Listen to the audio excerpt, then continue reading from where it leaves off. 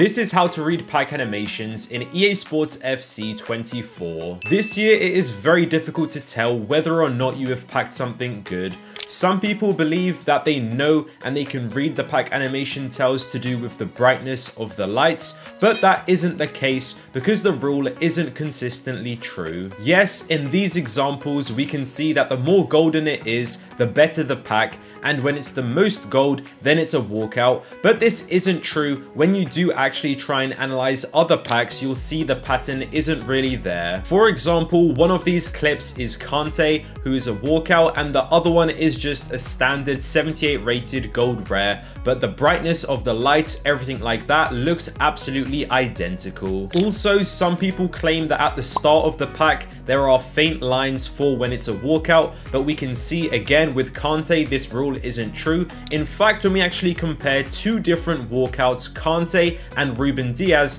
the walkout animations, these two aren't even the same. Shining lights popping out on the card, we can see again, isn't a guaranteed walkout because we can see with this example, it's just a random gold rare. Now, an explanation behind this could be that EA Sports have made a mistake and they need to release an update to fix all of these things, or maybe they just want it to be random, but so far I have only found two things that remain true across all of the different packs. Firstly, to tell if it is a rare or non-rare, we can see at the start of a pack, it is more golden when it is a rare card. And secondly, to tell if it is a double walkout, when the pack is opening and we see the club badge, a very specific line appears from the bottom left corner, then you know it's a double walkout. A third thing which I have potentially noticed to try and identify a walkout is this 3D shape which we can see on the left hand side of the animation.